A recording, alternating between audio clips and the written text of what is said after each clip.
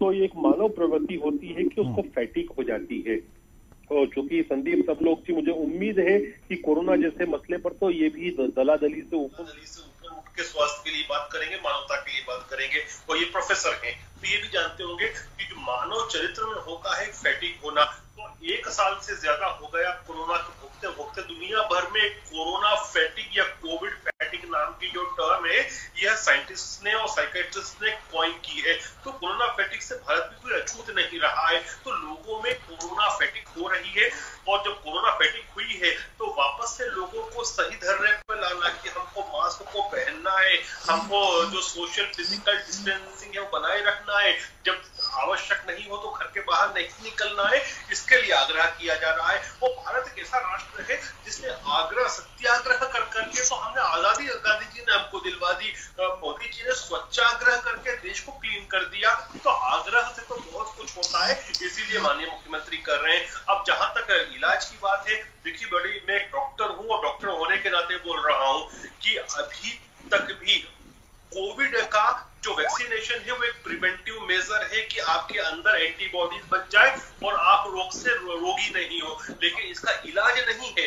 इलाज तो अभी भी वही है, मास्क लगाना, सामाजिक दूरी रखना और घर से कम से कम निकलना हाथ में सफ़ाई रखना, हाथ को सैनिटाइज रखना, इस यही इलाज है। अभी तक कोई दवाई के रूप में कोई इलाज नहीं है।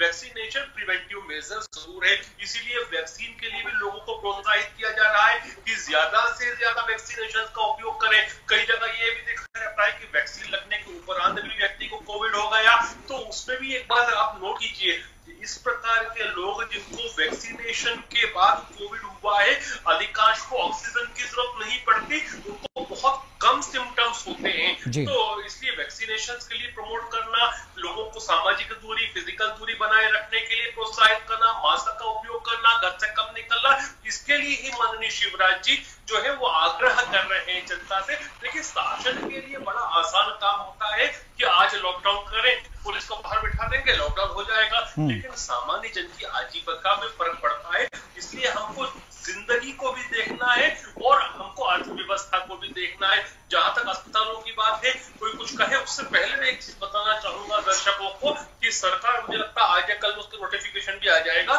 सरकार ने इस चीज़ का भी निर्णय कर लिया है कि अस्पतालों में प्रतिदिन के हिसाब से बेड का शुल्क जो प्राइवेट है, उसमें कितना होना है, जो रैपिड एंटीबॉडी टेस्ट है, उसका रेट तीन सौ से ज़्यादा नहीं होना, इन सब के लिए भी एक कैपिंग करने का निर्णय ले लिया भी की और लूट खसोट की बात है।